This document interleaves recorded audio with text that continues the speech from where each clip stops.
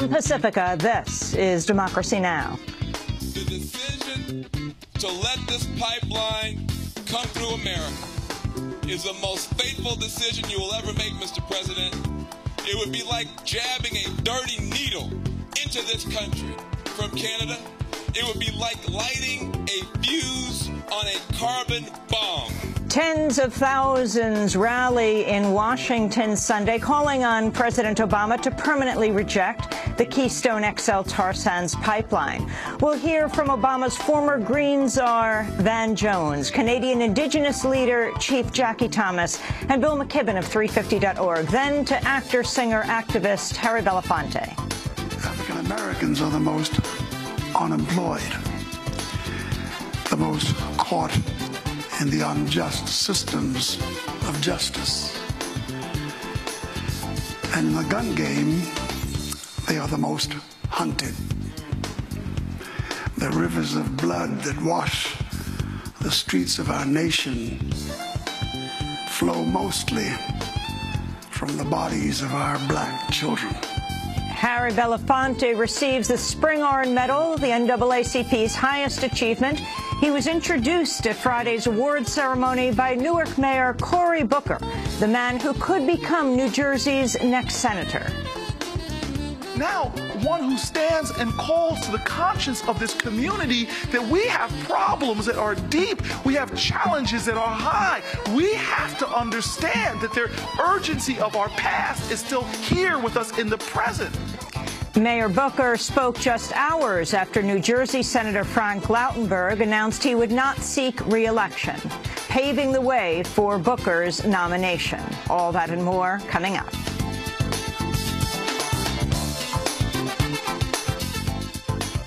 Welcome to Democracy Now!, democracynow.org, The War and Peace Report. I'm Amy Goodman. Tens of thousands rallied on Washington's National Mall Sunday for what organizers dubbed the largest climate rally in U.S. history.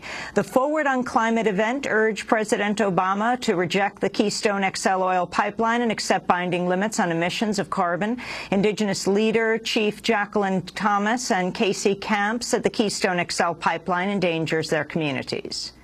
It puts at risk my neighbors to the east of me that live at the tar sands. The government doesn't recognize these people, and these people have been dying of mysterious cancers. Their water is polluted, their animals are sick, and Mother Earth is sick. And we're here to make a difference. We're here to be in solidarity with all of us who understand that we have a very slim opportunity to make human life continue to exist.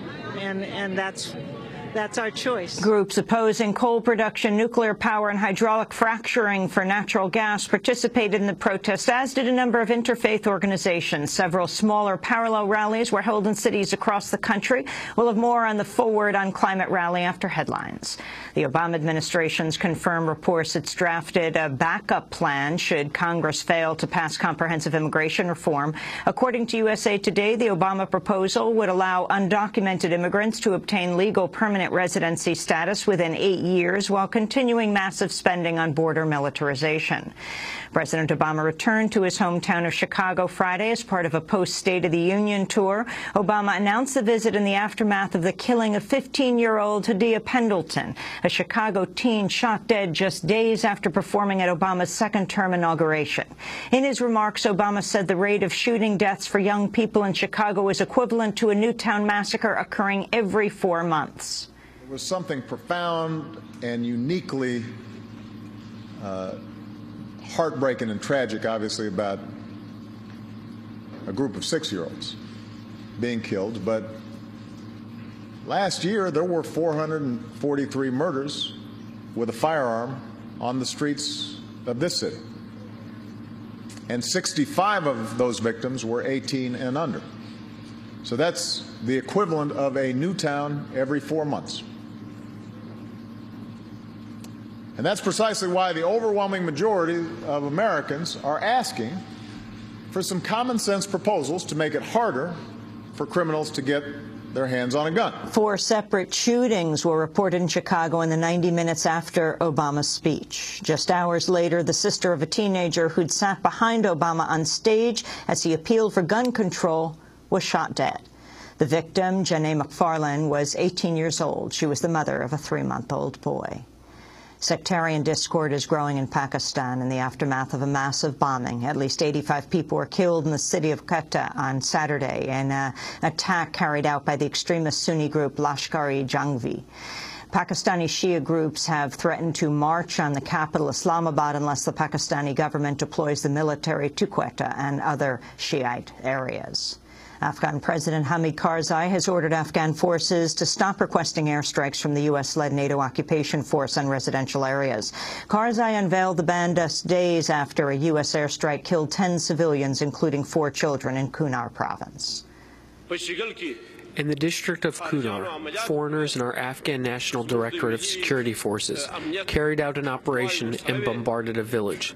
They killed 14 people, including women, men, and children. Tomorrow I will issue a decree stating that under no conditions can Afghan forces request foreign airstrikes on Afghan homes or Afghan villages during operations. Iraq continues to face a wave of sectarian violence. On Sunday, at least 37 people were killed and more than 100 wounded in a series of car bombings in Baghdad. The blast targeted mostly Shia areas. More than 100 people have been killed in Iraq this month after close to 200 died in January. And protests continued in Bahrain over the weekend after activists marked the second anniversary of their uprising against the U.S.-backed monarchy. On Saturday, police fired tear gas at stone-throwing youths following the funeral for a 16-year-old demonstrator reportedly shot by authorities at close range. On Sunday, the Bahraini regime claimed it had arrested eight people belonging to a militant cell with ties to Iran, Iraq, and Lebanon. Protests erupted across the occupied West Bank Friday in support of hunger-striking Palestinians in Israeli prisons. Dozens of protesters were treated for tear gas inhalation and injuries from rubber-coated bullets fired by Israeli troops. The prisoners include Samer Issawi, who was initially released under the 2011 deal that freed Israeli soldier Gilad Shalit, only to be rearrested and returned to an Israeli prison last year. His family says he's been on hunger strike for more than 200 days, drinking only water water. Ecuadorian President Rafael Correa has easily won re-election to a third term in office. Correa took Sunday's election with 57% of the vote, more than doubling the tally of his challenger. In his victory speech, Correa said his re-election marks a new step in Latin America's growing independence from foreign control. Esto es que aquí ya no manden la bancocracia. The banking class cannot run things here anymore, nor party politics, nor the media, nor faction-serving interest groups. The International Monetary Fund does not run things here, nor the international bureaucracies. Hegemonic countries do not run things here anymore. Despite whatever errors we could commit, you can rest assured that this revolution will be led by you, Ecuadorian men and women. Correa's international notoriety has increased in the past year after he granted political asylum to WikiLeaks founder Julian Assange.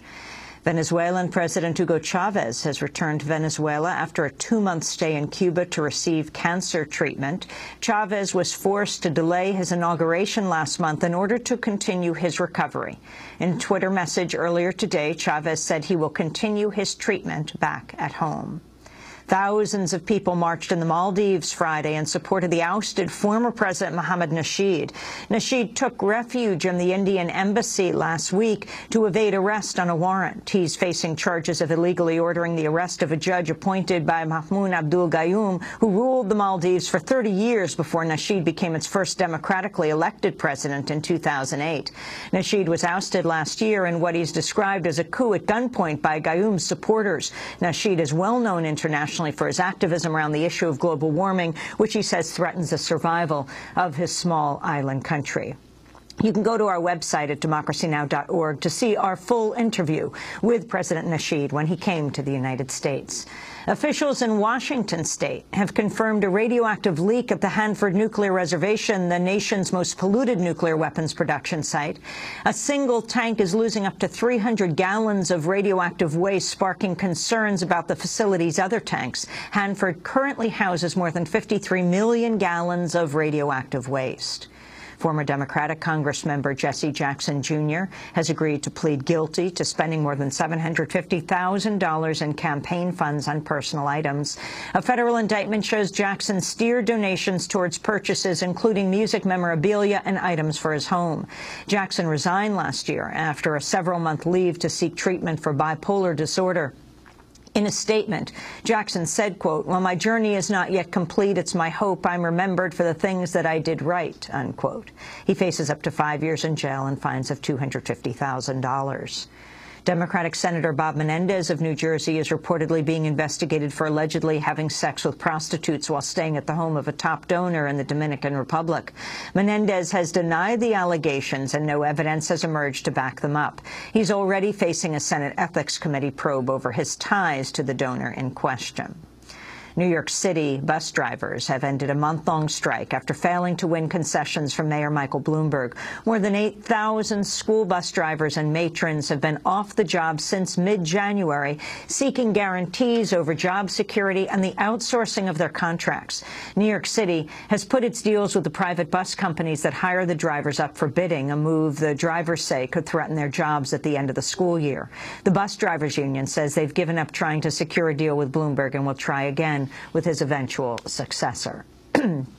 And those are some of the headlines. This is Democracy Now!, democracynow.org. Thanks so much for watching this report from Democracy Now!, your daily independent global news hour. We don't accept advertising or corporate funding, but rather rely on donations from viewers like you. Please make your contribution by visiting democracynow.org. We need your support today to keep bringing you this hard-hitting, in-depth reporting.